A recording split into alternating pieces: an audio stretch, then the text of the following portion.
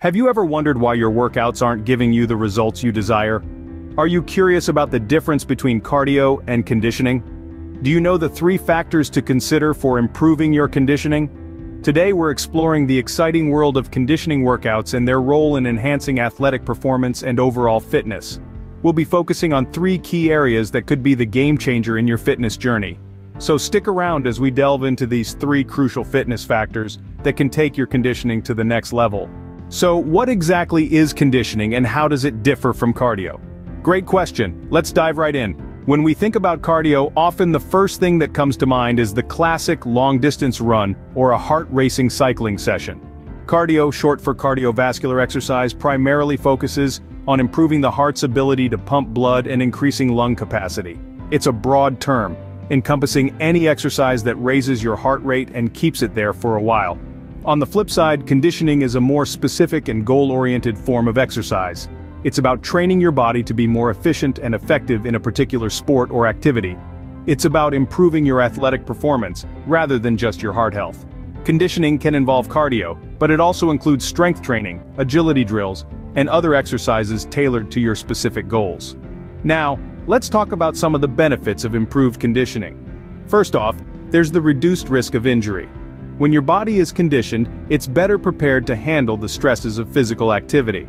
You're less likely to pull a muscle, sprain an ankle, or suffer other common sports injuries. That's a big plus.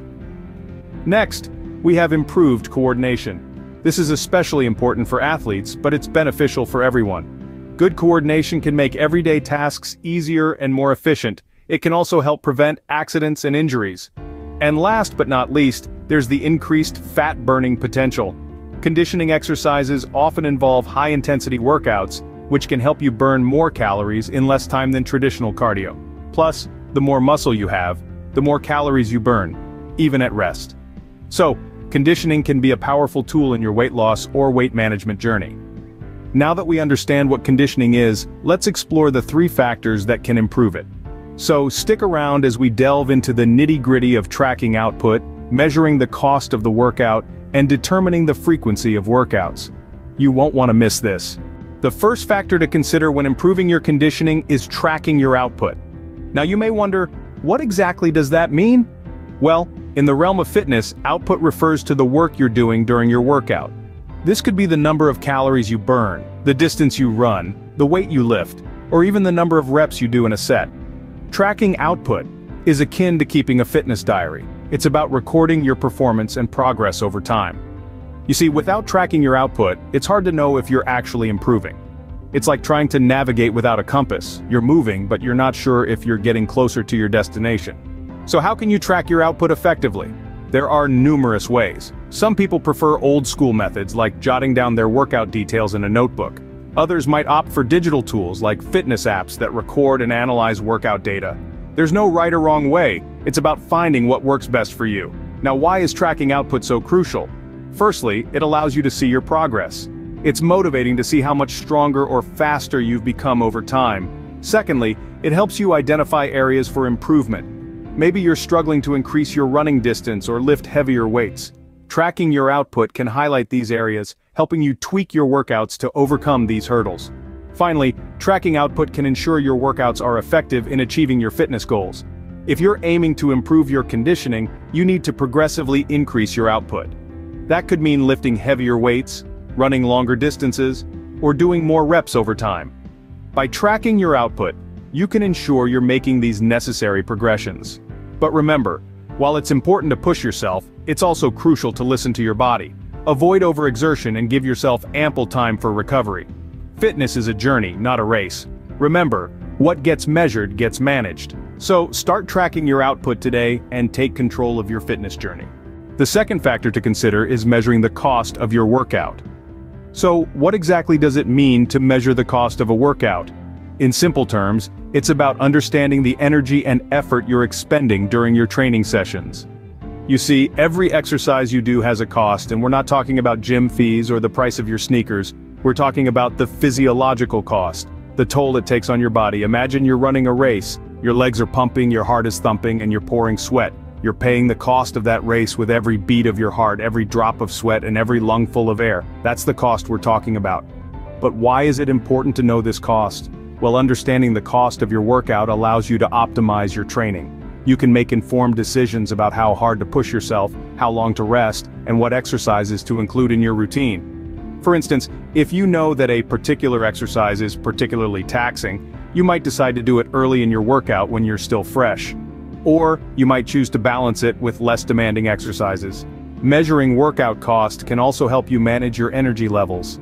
If you're constantly feeling wiped out after your workouts, it might be because you're overdoing it.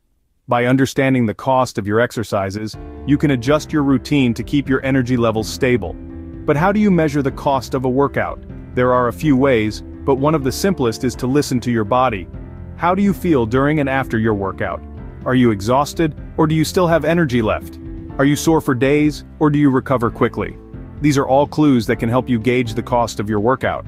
As you can see, understanding the cost of your workout is key to getting the most out of your conditioning. The third and final factor to consider is determining the frequency of your workouts.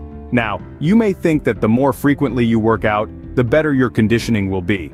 However, it's not always that simple. Improving your conditioning isn't just about how often you exercise. It's about finding a balance that allows your body to recover, adapt, and improve. Each time you work out, you're intentionally putting stress on your body. This stress, in controlled amounts, is beneficial. It's what prompts your body to adapt and become stronger, more efficient, and more resilient.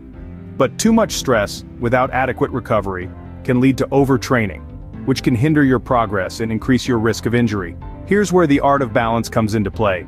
Your workout frequency should be high enough that you're consistently challenging your body and prompting it to adapt, but not so high that you don't give your body the chance to recover and reap the benefits of your hard work. So, how do you find this balance? Well, it varies from person to person. Factors such as your current fitness level, your specific goals, and your lifestyle all play a role in determining your optimal workout frequency. A good rule of thumb is to aim for at least 3 to 4 conditioning workouts per week. This provides a balance between workout and recovery days, allowing you to make consistent progress without risking overtraining. In the end, remember that improving your conditioning is a marathon, not a sprint. It's about consistent, sustainable progress, not quick fixes. So take the time to determine the workout frequency that's right for you, and be willing to adjust it as needed. Finding the right balance in workout frequency can make a significant difference in your conditioning.